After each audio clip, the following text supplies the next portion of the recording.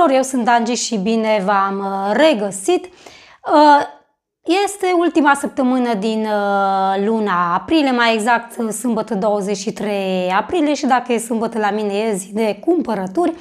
Cumpărături în buget. Bugetul meu prestabilit este la 100 de euro pe săptămână pentru o familie de 4 persoane. Țin să precizez că acest clip este și o colaborare cu o persoană care mie, îmi este tare dragă. Ea se numește Ioana Anca N. O să las uh, linkul canalului ei în uh, descriere. Pe canalul ei o să găsiți uh, clipuri de genul cumpărături alimentare, Clean With Me, curățenie și multe alte chestii interesante pe care vă las pe voi să le descoperiți, dar tema acestui clip este de fapt cumpărături în buget. Noi am stabilit suma de 100 de euro pentru că de ceva vreme încearcă și ea să se țină de acest buget de 100 de euro și chiar îi și reușește, așa că am ales magazinul Lidl amândouă și uh, suma de 100 de euro de, uh, cum uh, ziceam. Acum, uh, eu zic că chiar dacă nu reușim de fiecare dată să ne încadrăm în bugetul nostru uh, stabilit, mai ales în uh, contextul actual când prețurile au uh, crescut uh, peste măsură, uh, atât în România cât și în uh, alte țări, bineînțeles, dar eu zic că uh, merită efortul nostru și să fim, uh, zic eu, niște cumpărători inteligenți, așa cum magazinele și supermarketurile au strategia lor de uh, a te atrage să cumperi cât mai multe și să pui cât mai multe în coș și atunci când mergi la casă să-ți dai ochii peste cap uh, de ce uh, sumă trebuie să achiți, eu zic că să fim și noi niște cumpărători inteligenți și să ne stabilim bugetul, meniul, lista de cumpărături și să facem alegerile în funcție de ceea ce ne interesează pe noi și la sfârșitul lunii să rămânem noi cu o anumită sumă de bani în buzunar sau în cont, decât să uh, meargă în contul magazinelor. Asta nu zic să nu ne cumpărăm ceea ce avem nevoie și ce considerăm noi fiecare, dar uh, zic să fim și noi inteligenți și să avem și noi strategia noastră dacă magazinele uh, au o echipă întreagă în spate, chiar dacă noi suntem singuri puși în fața uh, acestor strategii, să reușim și noi cu uh, succes. Asta îmi doresc și eu și asta vă doresc uh, și vouă. Așa că hai să vă arăt ce am cumpărat uh, de fapt.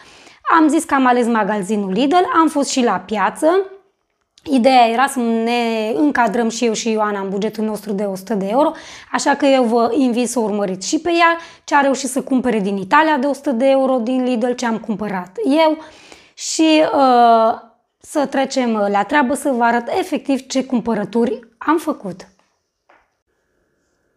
Acestea sunt cumpărăturile din această săptămână. Partea aceasta este partea de la piață, legume, fructe și uh, partea aceasta este partea din Lidl. La Lidl am achitat suma de 73 de euro, 77 de uh, cenți, bani pe care i-am notat pe plicul meu unde îmi țin eu uh, evidența, 74 de euro și la piață am achitat suma de 22 de euro, în total deci m-am încadrat și în buget. Am cheltuit săptămâna aceasta 96 de euro, dar pe ansamblul în această lună am uh, depășit bugetul cu 64 de euro. Mai sunt și derapaje, dar de când uh, am o strategie și un buget, măcar derapajele nu mai sunt atât de mari, având în vedere că sunt și sărbătorile pascale, eu zic unde cheltuim așa banii să mai scurg printre degete, eu zic că este uh, destul de ok. Bun, și acum să vă arăt efectiv ce am cumpărat. Am aici uh, niște struguri, am luat așa, era un veliț în pungă de hârtie, uh, un kilogram, am aici o mână de banane, o caserolă de căpșuni, am luat aici două caserole de roșii sherry, astea sunt din astea uh, galbene colorate ceva mix și uh, astea sunt roșii sherry uh, normale. Am mai luat uh, trei lămâi pentru că o să fac o pască și am nevoie la uh, ea de zeamă de lămâie, uh, două pachete de cremă brule, așa, am luat o înghețată uh, cu patrula cățeilor, șase bucăți și asta este cu pepa uh, picto, șase bucăți, asta este cu vanile și căpșuni și asta este cu vanile și uh, ciocolată. Bineînțeles că mi-am luat și un buchet de lalele albe, sunt superbe, zic eu. Îmi plac în general florile albe, dar uh, lalelele astea chiar arată foarte bine. Am găsit aici la reducere niște ardei copți și am luat două borcane. Fetelor le-am mai luat niște ciocolată din asta felie de lapte. Am aici două cutii de cremă de brânză. Am luat pentru masa de Paști niște antipasti, sunt niște ardei umpluți cu brânză, ceva măsline. Așa, aici mai am un tub de pastă de roșii pentru că o să o folosesc în ciorbă, pasta aceasta. Un pachet de salam, ăsta este de vită, este afumat. Tot pentru Ă, masa de Paște, așa la aperitiv, am luat niște somon din ăsta afumat, am luat un pachet de cașcaval din ăsta cheddar, ă, o cremă din asta ă, brie, asta îmi place mult să o consum cu struguri. Pentru mine am luat două cutii de aeran, este de fapt un iaurt sărat turcesc, doar eu îl consum pe acesta. Uh, am luat un kilogram de brânză de vaci pentru pască. Uh, am o rețetă simplă și um, nu pun stafide în ea pentru că nu mai mie îmi plac stafidele în uh, pască și atunci prefer să nu le mai pun pentru că fetelor și soțul nu se omoară cu stafidele, așa că le las deoparte. Am mai luat aici un iaurt din ăsta grecesc așa la 1 kg.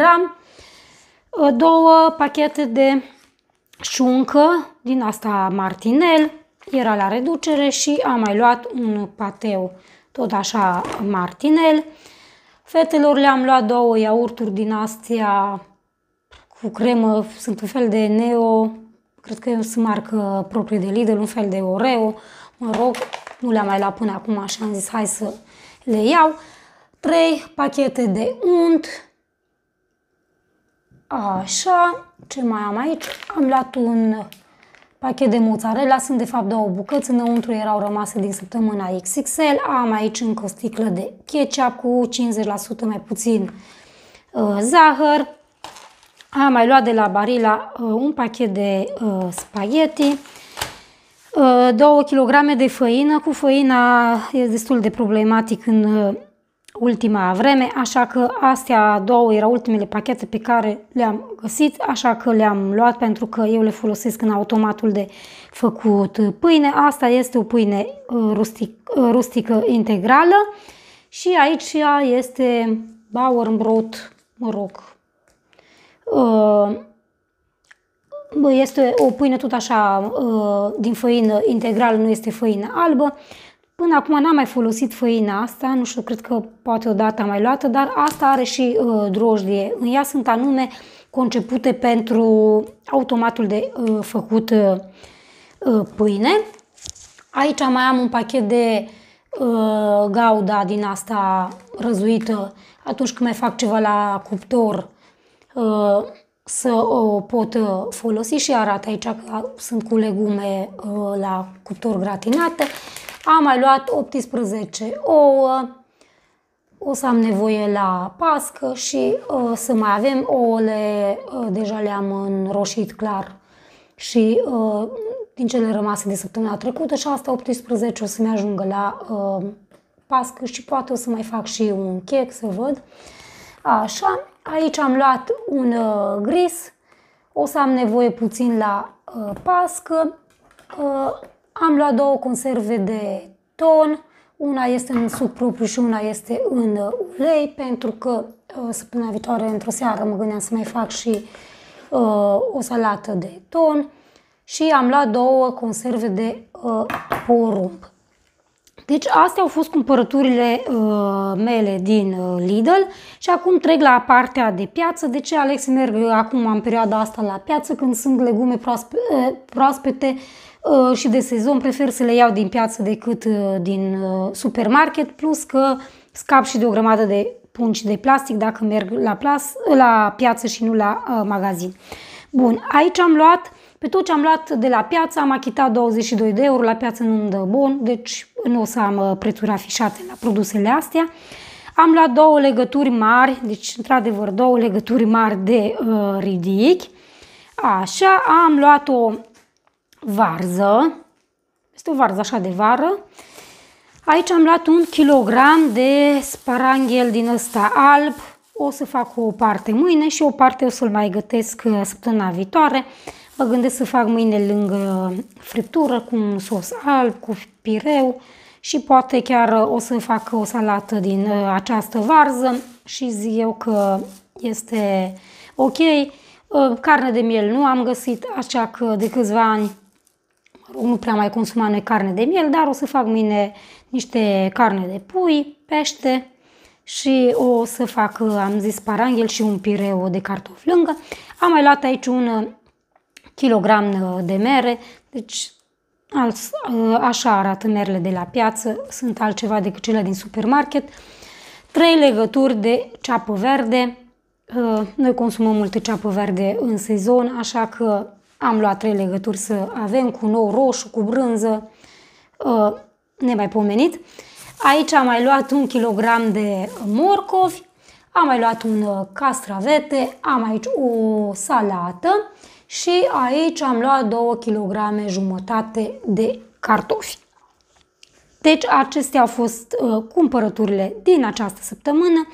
Clipul acesta o să apară nu duminică, cum apărea de obicei, pentru că duminică 24 aprilie sunt uh, sărbătorile pascale, sărbătorim învierea Domnului și uh, am decis ca acest clip să apară joi, uh, 28 aprilie. Nu uitați de colaborarea de astăzi, să urmăriți și pe Ioana, cu siguranță o să vă placă uh, ce uh, găsiți pe canalul ei și eu zic că puteți face o comparație între prețuri, pentru că ziceam, într-adevăr, prețurile în ultima vreme au crescut, așa că uh, mergeți să urmăriți uh, și pe ea și să-i acordați și ei uh, o șansă, așa puteți face o comparație, ce găsiți uh, în magazine, ce a ales ea să cumpere de fapt în Italia de 100 de euro, ce am ales eu să cumpăr în Germania de 100 de euro, ce puteți cumpăra voi, în România, dacă ați alege magazinul Lidl de bani aceștia și uh, așa puteți uh, face o comparație. Cu această ocazie vă urez uh, sărbători liniștite, cu pace și cu bucurie în suflet. Vă mulțumesc mult pentru vizionare și până data viitoare vă doresc numai bine!